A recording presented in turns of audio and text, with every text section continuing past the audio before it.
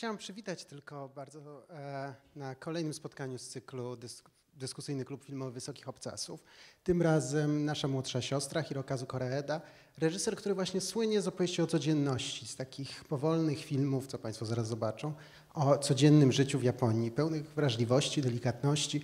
E, często jest porównywany do Yasuhiro Ozu. On sam mówi, że bardziej się czuje jak Ken Loach, rejestrując trochę jak sejsmograf, traktując kamerę, rejestrując społeczne przemiany, ale zawsze przez codzienność. I zaraz to Państwo zobaczą.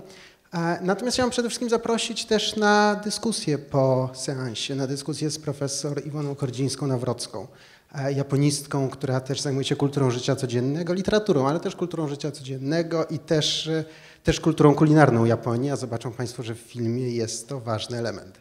I witam też, e, no witam też inne kina w całej Polsce, bo e, zarówno, znaczy no tak, no film się jednocześnie odbędzie, ale też będzie e, transmitowana cała dyskusja, więc bardzo zachęcam do zostania. Też w innych kinach można zadawać pytania przez YouTube.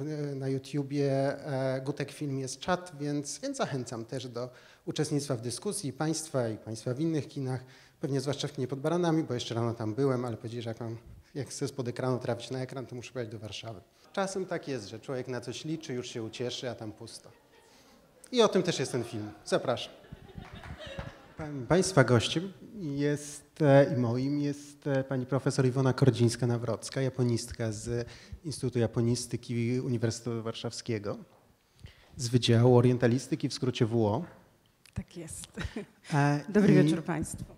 Tak, autorka też wielu książek, takich jak japońska, mm, japońska kultura kulinarna, japońska miłość dworska. No właśnie, bardzo się cieszę, ponieważ e, mam wrażenie, że ten obraz Japonii w Polsce, e, to wyobrażenie, to, to z jednej strony to są, no to są wieżowce, to jest dzika praca, to jest pęd, to, są, to jest zatłoczone, zatłoczone metro, z drugiej tradycja. A tu nagle u Hirokazu Koreedy jest e, no właśnie, Japonia zupełnie inna.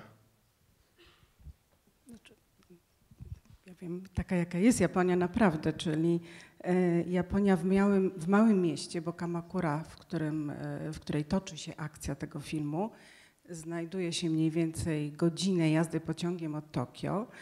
E, kiedyś była to siedziba Sioguna w XII wieku z rodu Minamoto. Dzisiaj jest to małe miasteczko. Miasteczko turystyczne, miasteczko pełne świątyń, ale jednocześnie takie miejsce wypadowe dla Tokijczyków, zwłaszcza latem, żeby przyjechać na plażę, żeby się poopalać, żeby spędzić miło czas.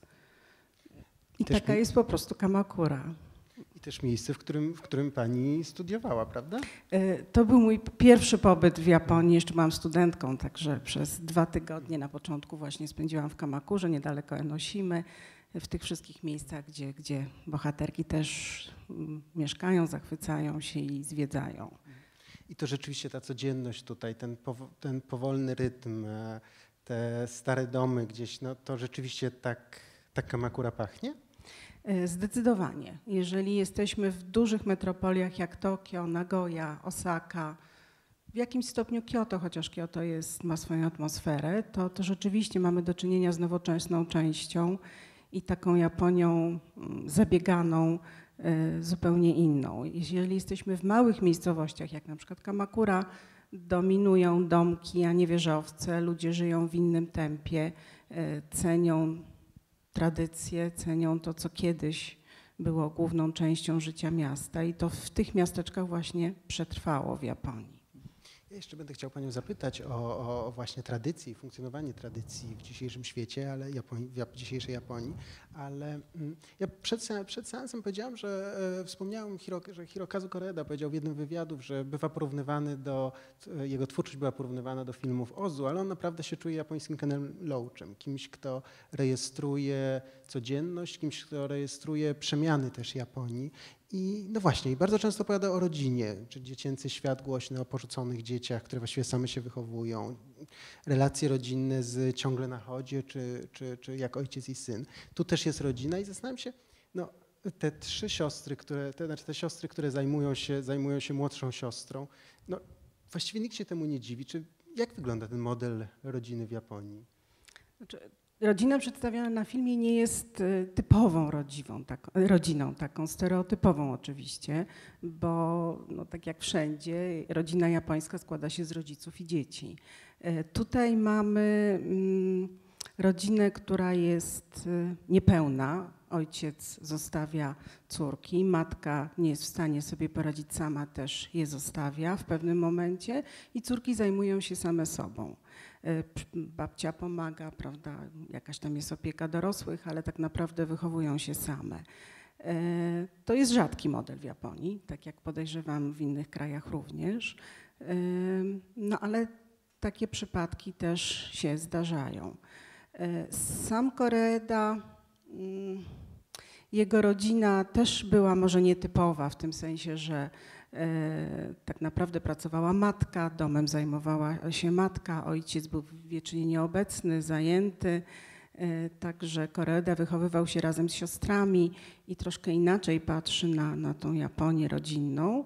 E, tutaj mamy, no on sam, ja też czytałam właśnie wywiady po tym filmie, on sam podkreśla, że ten film jest nie tyle o rodzinie, ile o sztuce przebaczania tak naprawdę. I to chciał pokazać, jak nowe okoliczności, nowe warunki, poznanie nowych ludzi wpływają na to, że człowiek potrafi sam stanąć e, no, ze swoimi problemami i wybaczyć innym.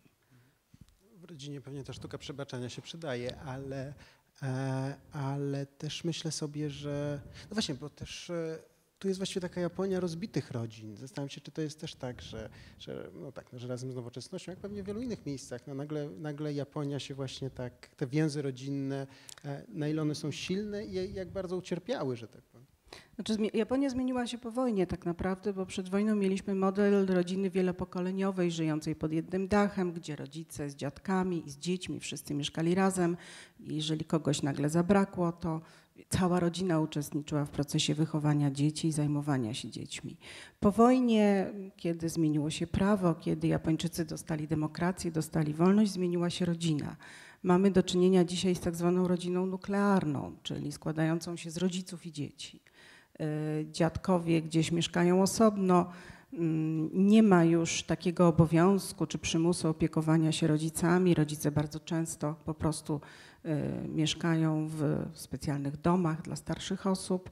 Także ta rodzina dzieci i rodzice to jest podstawowy model dzisiaj.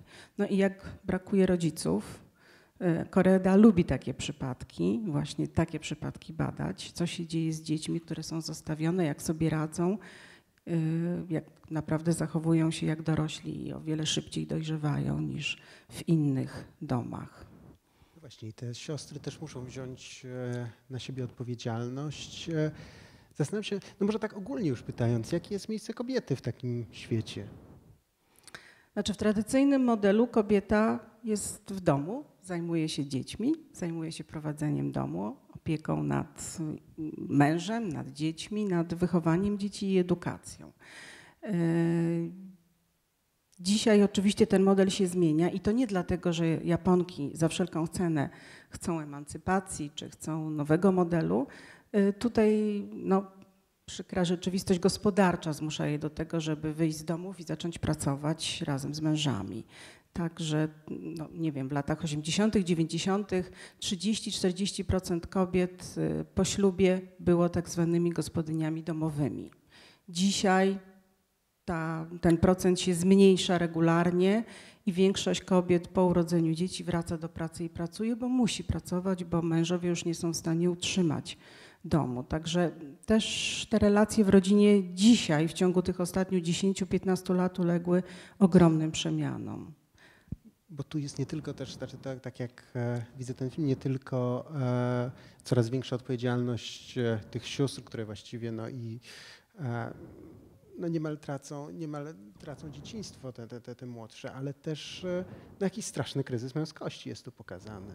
Ci wszyscy mężczyźni, którzy po drodze nie dają, no nie dają rady po prostu.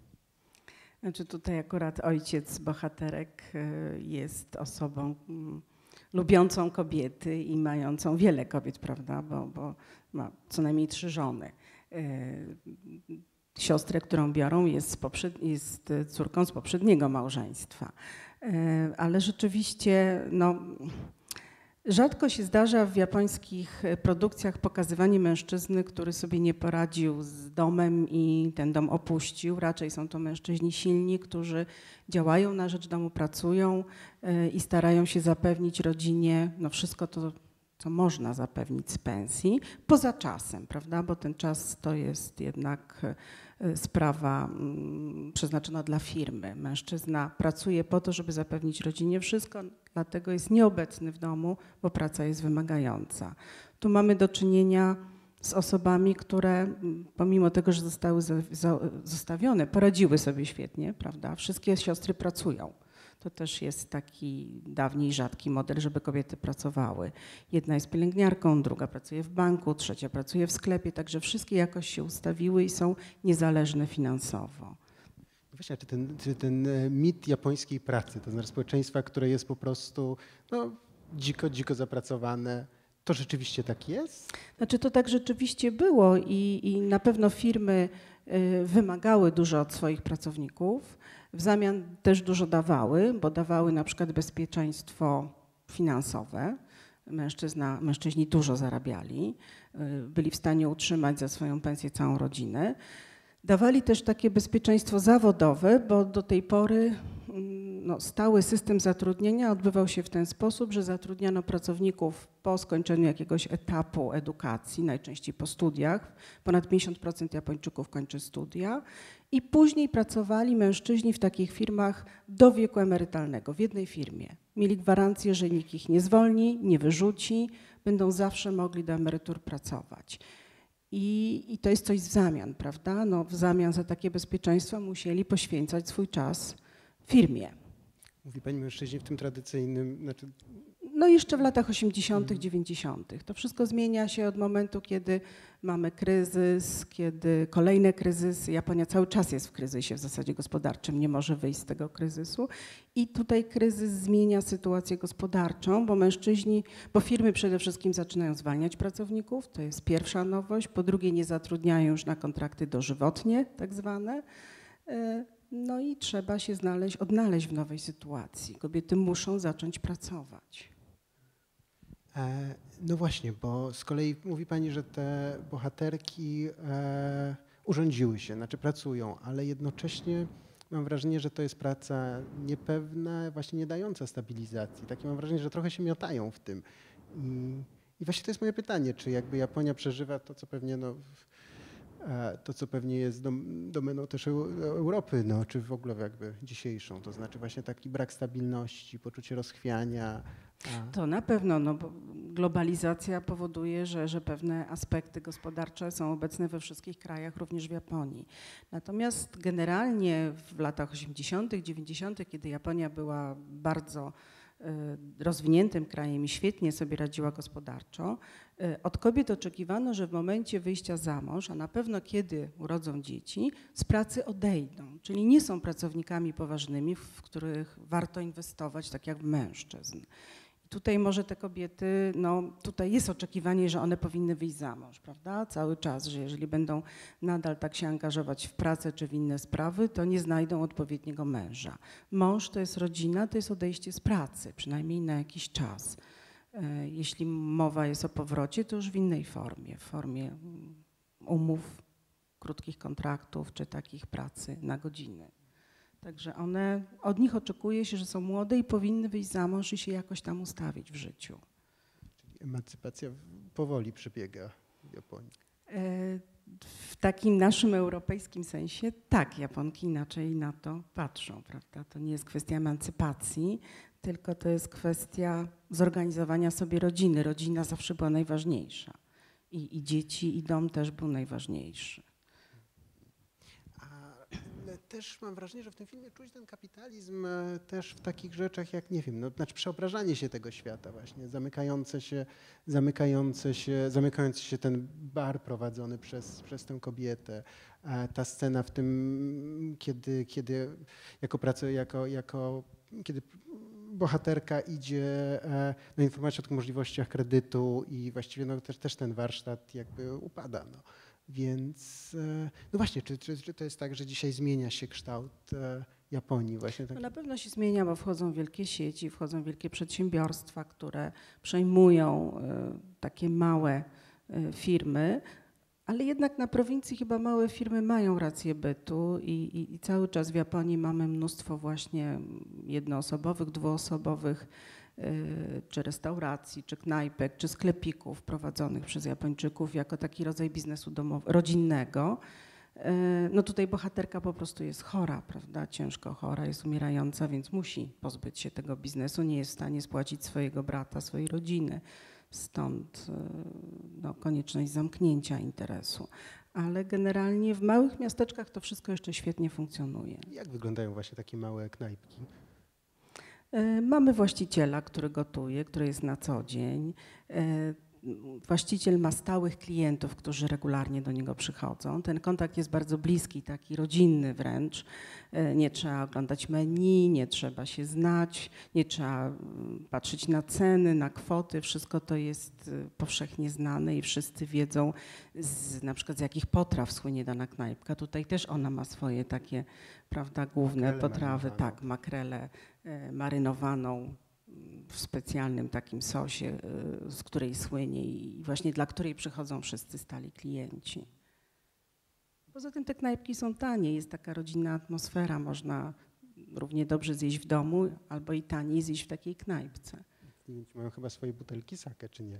Y, To może nie w tej akurat konkretnej, ale jeżeli to są takie jakieś puby czy, czy miejsca, gdzie się pije alkohol, to tak, to klienci mają swoje czy pani będąc w Japonii też dorobiła się swojego miejsca takiego, w którym, no, no tak, w którym miała pani swoje, swoje potrawy, zaprzyjaźniła się pani Znaczy ja akurat byłam w małym miasteczku, studiowałam w- mniejszym, znaczy w małym miasteczku. No jak na japońskie warunki było to małe miasteczko, bo ma mniej więcej 600 tysięcy mieszkańców, więc y, biorąc pod uwagę, że w Tokio mieszka 20-30 milionów razem z Yokohamą, więc to są małe miasteczka. Y, I, I tam rzeczywiście jest taka atmosfera bardziej rodzinna, można się zaprzyjaźnić, można y, porozmawiać. W Tokio byłoby to trudne, zdecydowanie. Trudno, bo po prostu jest inny styl życia. Bo jest mnóstwo ludzi, bo jest y, ogromne tempo życia i, i, i tutaj nie ma czasu na, na zawieranie takich drobnych przyjaźni.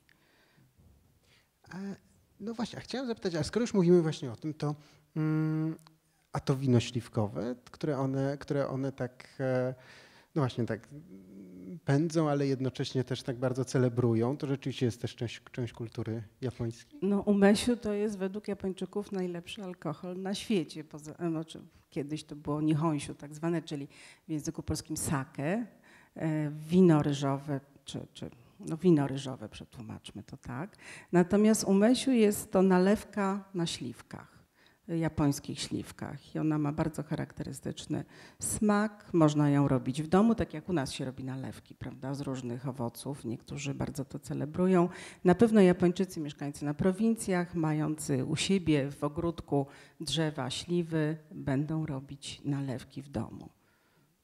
Ale też tutaj to wino, podobnie jak na przykład kimono, które, te kimona, które, one, e, które siostry trzymają, e, no są częścią takiej, powiedziałbym, codziennej, codziennego kultywowania tradycji. No właśnie o to chciałem zapytać, bo mam wrażenie, że właśnie tak jak zacząłem, że, że, że jest i z jednej strony tradycja i opowieści samurajskie, z drugiej taki wizja nowoczesności, super nowoczesnego państwa, ale, ale jakoś nie wchodzi to nigdy, znaczy zawsze to są dwie osobne wizje. Jak funkcjonuje właśnie tradycja w, na co dzień?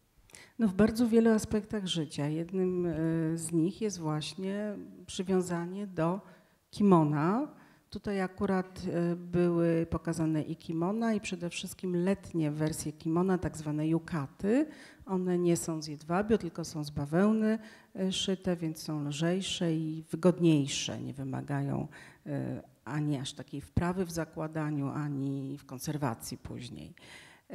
Japończycy w sumie bardzo długo przekonywali się do zachodnich strojów, bo w momencie, kiedy w XX wieku nawiązali kontakty z Zachodem, zaczęli zmieniać swój kraj, no to nosili kimona. Kobiety nosiły kimona i tak naprawdę do końca II wojny światowej jeszcze cały czas te kimona były częściej noszone niż stroje zachodnie. Dopiero po wojnie kobiety przebrały się już tak na stałe, można powiedzieć, w zachodnie stroje, ale te kimona w, przy okazji świąt różnych, na przykład Nowego Roku, y, czy w czasie lata właśnie yukata jest symbolem lata i wtedy obowiązkowo trzeba założyć letnie kimono i pójść, tak jak tu zresztą było pokazane, oglądać y, hanabi, czyli pokaz sztucznych ogni. A jednocześnie też, już jeśli mówi Pani o, o kalendarzu, to też stale wracają te kwitnące wiśnie. A, Y, No tak, bo w Japonii y, cały rok tak naprawdę zaczyna się 1 kwietnia, czyli wtedy, kiedy w zasadzie jest pora, y, kiedy kwitnie sakura i kończy się 31 marca. Tak jest liczony rok szkolny, tak jest liczony rok akademicki, tak również państwo wyznacza swój budżet, także mamy przesunięcie od 1 kwietnia do 31 marca, tak? Y, Nie, tak. Y, I, i, I liczenie czasu według nie tylko kwitnienia sakury, sakura kwitnie na wiosnę. Na jesieni mamy mm, czerwone klony, które się podziwia. Mamy y, pełnię księżyca, którą się podziwia. Czyli y, taki bliski związek z naturą, z podziwianiem, z kontemplacją natury w postaci dorocznych świąt w zasadzie kształtuje rok taki kalendarzowy Japończyków. Również odnośnie do strojów, bo kimona dobiera się też do pory roku, są inne wzory, inne kwiaty na kimonach, inne jedzenie też jest w zależności od pory roku, więc to wszystko ma związek z przyrodą i, i z czterema porami roku, którzy, dla, które dla Japończyków są szczególnie ważne. czy to rzeczywiście jest tak, że na przykład w wiadomościach informuje się właśnie o tych wiśniach? Czy... Informuję się, bo niestety Japonia ma sześć stref klimatycznych i nigdy nie jest tak, że zawsze o tej samej porze w każdym miejscu sakura kwitnie, czy kwiat wiśni kwitnie e, no dokładnie w tym samym momencie. Najwcześniej to jest na Kyushu, Shikoku, mniej więcej w kwietniu właśnie na głównej wyspie Honshu, tam gdzie jest Tokio Kamakura, a najpóźniej w maju, w czerwcu dopiero na Hokkaido. Także to jest taka fala, która przechodzi od południa na północ i w informacjach mówi się dokładnie, że zaraz za dwa dni będzie kwitła sakura, więc trzeba szybko urządzić święto podziwiania wiśni. Sakura kwitnie krótko. W momencie, kiedy przekwita, opada też w ciągu jednego dnia, więc jeżeli ktoś nie zdąży, no to po prostu już nie będzie podziwiał w danym roku wiśni. Mówi Pani, że z każdym takim, że, że z tym wszystkim się wiąże, wiążą też święta i znowu jakiś, e, no też jak rozumiem, pewne takie kul, kul, kultywowanie wspólnoty. No, zdecydowanie tak. No, akurat podziwianie kwiatów wiśni, księżyca czy y, liści klonu wywodzi się z kultury dworskiej z dawnych czasów. Y, Arystokraci w sposób bardziej inte- intelektualny przeżywali podziwianie wiśni, bo na przykład siadali pod kwiatami i układali wiersze na temat wiśni. Dzisiaj Japończycy już nie są tak bardzo y, poetycy i po prostu siadają pod kwiatami wiśni, biorą ze sobą alkohol, często karaoke do śpiewania, dużo jedzenia, głównie sushi i bawią się do rana. E, No bo też ten styl życia, który jest e, w filmie, mm, no właśnie, taki gdzieś, e, no to- pewnie też styl Koreedy, ale, ale taka walka, żeby nie wejść, że, że, no tak, no żeby obrona przed tym biegiem, to znaczy jednak te momenty, kiedy trzeba się zatrzymać, bo na przykład jest święto. Znaczy, sam film Koredy został nakręcony y, na podstawie mm, scenariusza opartego na y, japońskim komiksie przeznaczonym dla młodych dziewcząt. Y, I tutaj cała ta historia jest może dlatego bardzo pogodna, taka spokojna, pokazuje prowincję i, i te takie miłe strony życia na prowincji. Bo podejrzewam, że jednak większość młodych Japończyków chciałoby się przenieść do wielkiego miasta i, i żyć zupełnie inną atmosferą. Tutaj jest y, zachowana taka tradycja, y, której w wielkich miastach właśnie nie ma. Także Ja bardzo czekam i zaraz, zaraz zapytam. Jeszcze pozwolę sobie jedno pytanie zadać o tę zmieniającą się Japonię, która mam wrażenie tu jest, ale pani je- jeź- jeździ do Japonii od, e, jak czytałem, od 89 roku bardzo regularnie.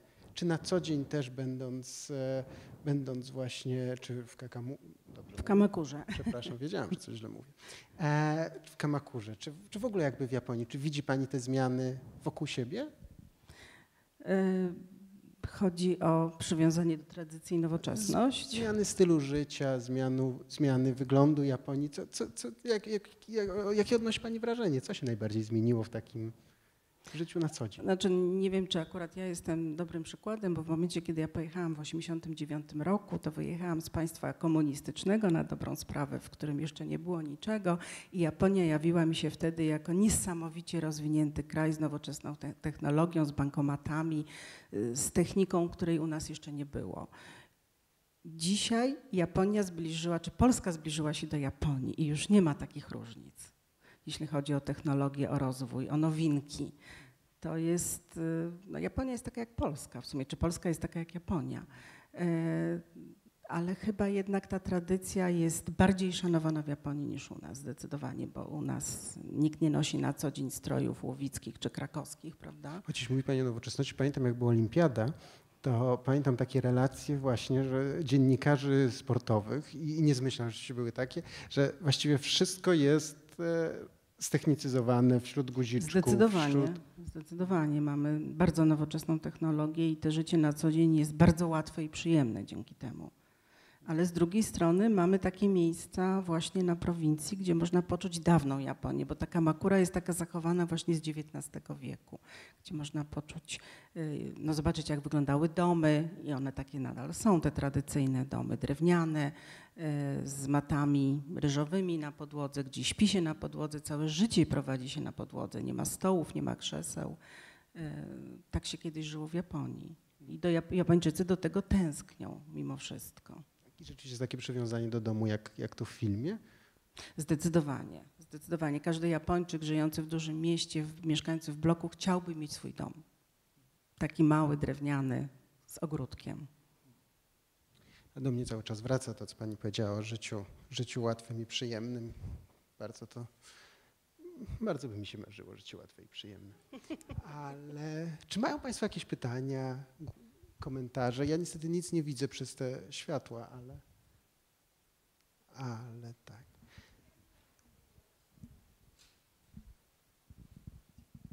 Ja bym chciała chętnie zapytać, czy to nie jest karalne takie porzucenie dzieci? Przecież te dziewczynki były malutkie jeszcze. Te dziewczynki zostały pod opieką babci, także nie były same. Matka tutaj jakoś się nie sprawdziła, nie zrealizowała. E, problem z Japonią jest taki, że, że, że przynajmniej do, do lat 90. E, w momencie rozwodu na przykład najczęściej prawa do opieki nad dziećmi e, miał ojciec, bo był tą stroną, która mia, mogła dać utrzymanie, zarabiała, była finansowo niezależna i najczęściej kobiety traciły prawa rodzicielskie. No i zgodnie z tym systemem japońskim rzadko widywały dzieci, rzadko się z nimi spotykały, nie było systemu odwiedzin, nie wiem, jakiejś takiej wymiany dziećmi. Od lat 90. E, coraz częściej matki dostają prawo opieki nad dziećmi, ale ten system japoński wspierania samotnych matek wychowujących dzieci jest jeszcze cały czas e, bardzo opóźniony i tutaj no, kobietom bardzo trudno podołać, pracować, opiekować się dziećmi. Y, system przedszkolny jest słabo rozwinięty, także mm, to, to cały czas jeszcze stoi przed Japonią, jak ten problem rozwiązać. Y, no, oficjalnie nie można porzucać swoich dzieci w Japonii również, to, to, to, to nie jest normalne, ale właśnie Koreada pokazuje takie rzeczy na swoich filmach i to nie jest jego pierwszy film na ten temat, bo w filmie z 2003 roku, y, gdzie przedstawił rodzinę małoletnich dzieci, y, których matka odeszła, mieszkała z kim innym, tylko od czasu do czasu się pojawiała i dawała im pieniądze na utrzymanie, a dzieci utrzymywały się i żyły tak naprawdę same. To też nie jest normalna sytuacja. Ona później została za to skazana i uwięziona na, na kilka lat. Także tutaj on nie wraca, dlaczego tak się stało, e, natomiast nie jest to normalna sytuacja pod względem prawnym w Japonii również ogóle jest jakaś taka fala rozwodów w Japonii, na przykład, którą często widać, no, było takie pokolenie w Stanach, gdzie nagle... Nie, w Japonii y, generalnie rozwodów jest mało, dlatego, znaczy jest stosunkowo niski procent, dlatego że y, no po pierwsze jest ciężko kobiecie żyć samej z dziećmi i wychowywać dzieci, Po drugie, te dzieci są takim najważniejszym dobrem i rodzina nie jest po to, żeby rodzice byli szczęśliwi i się kochali, tylko żeby opiekować się dziećmi. Najwięcej rozwodów jest w grupie wiekowej no, po pierwsze, znaczy młodych ludzi, którzy przez pierwsze pięć lat małżeństwa nie są w stanie się dogadać, nie mają dzieci i, i łatwo im się rozwieść. A druga grupa wiekowa, która często ostatnio przeprowadza rozwody, to są już małżeństwa dojrzałe, gdzie dzieci już są odchowane, dorosłe i można się rozwieść też bez problemów. Także, czyli dzieci wiążą jak u nas kredyt. Tych rozwodów, y, kiedy dzieci są jeszcze małe i są pod opieką rodziców, jest w porównaniu z innymi krajami mało w Japonii.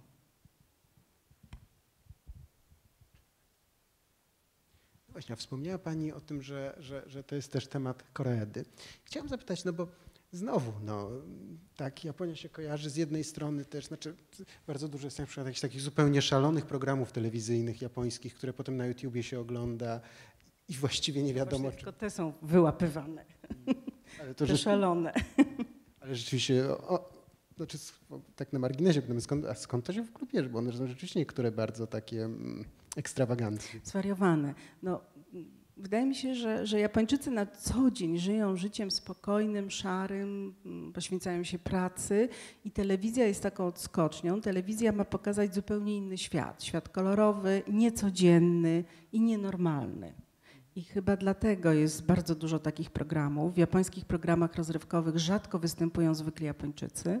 To zawsze są celebryci, gwiazdy, tak zwani Tarento-san, czyli wszechstronnie uzdolnieni młodzi ludzie, którzy tańczą, śpiewają, grają w filmach, występują w reklamach i oni zabawiają Japończyków. Zwykły Japończyk nie jest na tyle interesujący dla innych Japończyków, żeby go pokazywać w telewizji.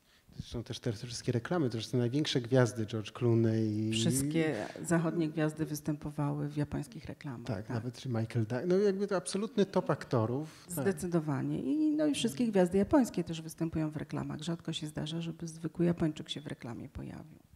Tak jak to właśnie. Ale właśnie zacząłem, zacząłem o tym mówić, że, że o Takeshim Kitano z jego Beat, Beat Takeshi e, z taką bardzo powiedziałbym no, bardzo, bardzo rozrywkowo, no, bardzo, bardzo rozrywkowa twórczość. Natomiast zastanawiam się, jakie miejsce w japońskim kinie i przemyśle filmowym ma ktoś taki jak Koreda, reżyser, do który jakoś na międzynarodowych festiwalach jest uznawany za mistrza. Teraz też zresztą zaraz będzie jego nowy film w sekcji Certain Regard, czyli w oficjalnej selekcji e, festiwalu w Cannes.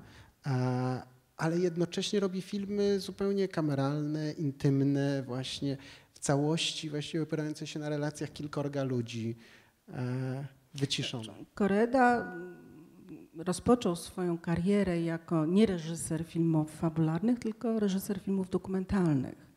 I na początku poruszał bardzo trudne dla Japończyków tematy, więc nie do końca był doceniany, zwłaszcza przez wielkie wytwórnie, czy dystrybutorów, czy przez władze japońskie. I tak naprawdę z czasem, kiedy jego filmy zostały dostrzeżone na Zachodzie, no to również w Japonii zaczęto go doceniać i na przykład ten film, który Państwo dzisiaj oglądali, on zdobył pięć nagród na festiwalu w Yokohamie w Japonii, także został doceniony absolutnie. Tylko, że w tej chwili rzeczywiście on zatrudnia już bardzo znane gwiazdy. Ta główna aktorka w roli Saci jest naprawdę wielką gwiazdą Japonii dzisiaj, także to już nie są anonimowi aktorzy, czy, czy dzieciaki, które gdzieś on tam znalazł i nigdy mm, wcześniej te dzieci nie występowały w filmach, tylko w tej chwili już zatrudnia rzeczywiście bardzo znane osoby medialne. A kino w ogóle staje się w Japonii taką przestrzenią mówienia o sprawach trudnych, schowanych pod dywan? Zawsze było. Zawsze było, no bo wielu reżyserów japońskich mm, robiło bardzo różne filmy.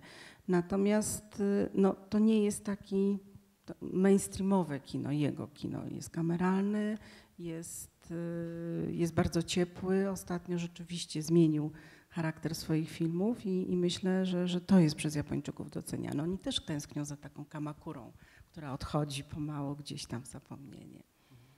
Takie kino japońskich tęsknot. Tak. E, ja mam pytanie, chciałabym prosić o komentarz a propos relacji młodego pokolenia wobec starszego, czyli tej córki najstarszej, ale nadal młodej, wobec matki. To y, występuje z taką dość mm, no, bezpośrednią krytyką y, co y, znając jakby japońskie relacje, stosunki, rzadko jest spotykane. Czy to się to zmienia teraz, że młodzi ludzie tak otwarcie mogą do własnych rodziców nawet krytykować ich? Znaczy tutaj to jest szczególny przypadek, bo ta matka zostawiła swoje córki, prawda, i, i wyjechała zupełnie gdzie indziej, one musiały się same wychowywać. Także ta najstarsza córka, która najlepiej to pamięta, ma do niej duży żal i nigdy się z tym nie pogodziła, podczas gdy młodsze już troszkę inaczej patrzą, są w stanie z nią rozmawiać i wybaczyć to. Rzeczywiście jest tak, że Japończycy uczeni są od samego początku y, takiego szczególnego stosunku do innych osób. Mają być grzeczni, uprzejmi, y, mają ukrywać swoje emocje, mają nie wypowiadać się bezpośrednio, bo to jest niegrzeczne, to nie jest kulturalne i wtedy y, strona, która tak atakuje, nie myśli o tej drugiej stronie, jak ona może to odbierać, a to jest najważniejsze, taka empatia w relacjach międzyludzkich. Natomiast tak już z mojego doświadczenia, jeśli chodzi o relacje w rodzinie mm, między rodzicami a dziećmi, to, to tej grzeczności do końca nie ma. I, I dzieci sobie pozwalają na różne zachowania, które na przykład nasze dzieci y, pewnie by nie zrobiły. I, I to jest ta różnica. Potrafią, zwłaszcza, nie wiem, synowie wobec matek, wykrzyczeć różne rzeczy, nie zgodzić się. Także tutaj dzieci bardzo często przeciwstawiają się rodzicom i rodzice, którzy źle poprowadzą wychowaniem dzieci, później nie mają kontroli nad dziećmi. Bardzo dużo jest e, przypadków, że dziecko zamyka się w sobie, nie chce rozmawiać, że, że nie wiem, schodzi na złą drogę, że przystępuje do jakiegoś gangu albo nie chce się uczyć, nie kończy studiów. Także takich problemów jest bardzo dużo w Japonii dzisiaj. Czy też ma na to wpływ to, że no, jednak mówiła Pani o tym ztechnicyzowaniu społeczeństwa, no to też zwykle odwraca taki system przekazywania wiedzy, że nagle się okazuje, że młodsze pokolenie no, lepiej w ogóle się orientuje w świecie niż, niż starsze. Znaczy z Japończykami to wydaje mi się, że jest jeszcze inny problem. Jest ogromny nacisk na edukację i na e, robienie kariery poprzez e, kolejne etapy, nie wiem, kończenie studiów. E, I tutaj ten, ta presja jest tak ogromna, że dzieci sobie nie radzą. A presja jest nie tylko ze strony szkoły, państwa, ale i ze strony rodziców. E, Matki, które zajmują się edukacją dzieci, dbają o to, żeby one chodziły do szkoły, później po szkole jeszcze do innych szkół i tam przygotowywały się do kolejnych egzaminów, bo w Japonii wszystko opiera się na egzaminach wstępnych. Także tutaj presja jest duża, dzieci nie wytrzymują tego. A matki niektóre są szalone. Też, no, to jest może jednostkowy przypadek, ale był syn, który popełnił samobójstwo, bo nie dostał się na uczelnię, którą mama chciała i wybrała dla niego. I ona uznała, że to jest jakoś tam normalne, bo on zachował się honorowo. Nie dostał się na największą uczelnię, na, na tokijską uczelnię i niestety. Także e, Japończycy wierzą, że przez edukację można osiągnąć wszystko. Więc trzeba pójść do dobrej szkoły podstawowej, żeby pójść do dobrego gimnazjum, następnie dobrego liceum i na studia. Więc to się zaczyna od samego początku i tutaj wiele osób sobie z tym nie radzi.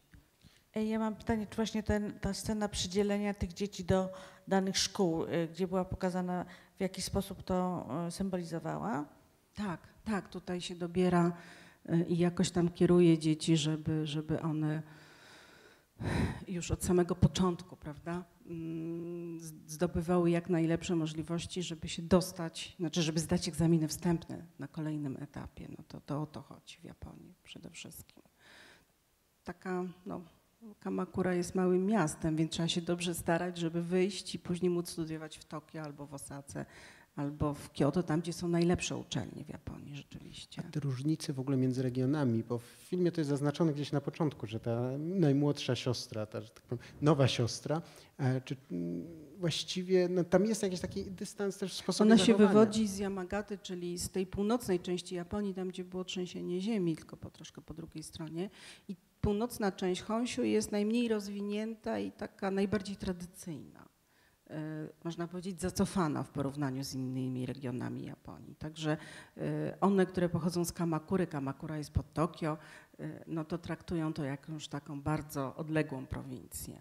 Jak ona mogła tam żyć, mieszkać i funkcjonować normalnie. Kiedy opowiada Pani o Kamakurze, zastanawiam się, czy istnieje w Japonii takie zjawisko, jak nie wiem, no, w Stanach się mówi o suburbiach, są japońskie suburby, właśnie japońskie takie przedmieścia ze swoją kulturą? Znaczy, jeżeli Polak się znajdzie w Japonii i podróżuje pociągiem, to w zasadzie ma wrażenie, że Tokio to jest 200 kilometrów wo- wokół Tokio, prawda? Że to się nie kończy to miasto. Cały czas mamy kolejne miasta, tylko że to są kolejne miasta właśnie. Także to jest ta no, podmiejski rejon, gdzie, gdzie żyją ludzie, którzy pracują w Tokio, bo oni, no dla Japończyka jest normalne dojeżdżanie do pracy do dwóch godzin dziennie pociągiem w jedną stronę. Czyli to jest taki jeszcze dystans akceptowalny i większość Japończyków w ten sposób funkcjonuje. Że, że do, Że dwie godziny rano się dojeżdża i dwie godziny wieczorem później się wraca. ja dzisiaj jechałem tyle do Krakowa. Proszę Państwa, czy... No właśnie, zapytam tylko, zapytam tylko jeszcze na koniec, bo mm, czy filmy Koreedy i czy nasza młodsza siostra to jest... E, no, czy to jest dobry, do, do, dobre źródło? Czy, czy można z nich się uczyć Japonii? Można, zdecydowanie, bo to jest taka Japonia, e, no na pewno inna. To nie jest wielkie miasto, to nie jest biznesmen i, i, i wielkie firmy, ale jest to Japonia, której, jeżeli Polak pojedzie do Japonii, to będzie zwiedzał tylko te duże miejsca i, i może takiej Japonii nie doświadczyć nawet. Także wydaje mi się, że tak. E, Bo no, biorąc pod uwagę, że Połowa ludności Japonii żyje w ogromnych, w dużych miastach, tak naprawdę w trzech, w Nagoi, w Tokio, e, Osace, Kyoto. To są te trzy regiony, gdzie jest prawie połowa Japończyków mieszka. To, to cały czas połowa żyje na prowincji, gdzie życie jest spokojne i zupełnie inne. To ja dalej marzę o życiu spokojnym, dobrym, bez bólu. I bardzo, bardzo Pani dziękuję. Dziękuję bardzo i Dziękujemy jeszcze muszę bardzo. powiedzieć, że to był dyskusyjny klub fi- filmowy Wysokich Obcasów, bo redaktor naczelny każe mi często mówić o Wysokich Obcasach, więc zapraszam do śledzenia Wysokich Obcasów, w których to Wysokich Obcasach będziemy pisać o kolejnych spotkaniach z cyklu DKF. Dziękuję bardzo.